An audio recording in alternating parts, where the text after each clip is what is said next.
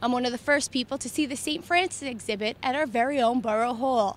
The manuscripts inside haven't been taken out of Italy in over 700 years. Late Tuesday night, Brooklyn Borough President Eric Adams unveiled 12th and 13th century manuscripts from the sacred convent of St. Francis of Assisi. These manuscripts help us to do that, to get, get a glimpse into a corner of who, who was this Francis of Assisi, this man, um, you know, the, the, human being, the person. It brings it to life and enfleshes it in a way that you know, uh, reading an encyclopedia just couldn't. Seeing an actual, you know, medieval manuscript, very possibly dictated by Francis himself, very, very exciting. St. Francis is one of the most revered figures in Roman Catholic history, but the exhibit's organizer hopes this curation shows more of his human nature. These manuscripts, with a couple of them in particular, we come very, very close to the actual life of Francis itself, where he may have very well dictated it to uh, one of the early friars. And so that, that casts light upon Francis as the man, uh, as an individual, as opposed to being Francis the saint.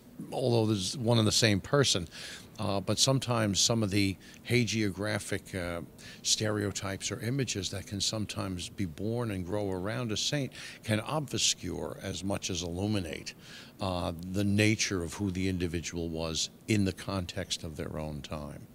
With the help of Brother Jeffrey, we were able to translate some of the oldest manuscripts, some dating back to the first foundations of the Italian language, the Canticle of the Creatures and the Canticle of the Sun two uh, very, very popular poems, uh, wide, widely ascribed to St. Francis, uh, where, wherein he lays out um, a lot of his um, perspective, his theology, if you will, and love of nature and creation.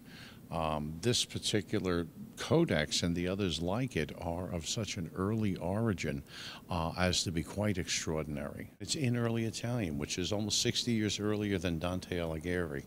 So it may very well be the first um, literary work in the vernacular Italian in early 13th century.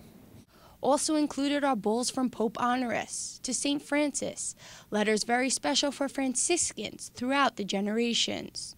Francis is not even dead yet, and we we see the papacy already beginning to um, concede or to grant various rights and privileges to the early Franciscan order. That early closeness between the fledgling order uh, and the papacy, and they'll they'll continue to grow in not only numbers but importance throughout the 13th century.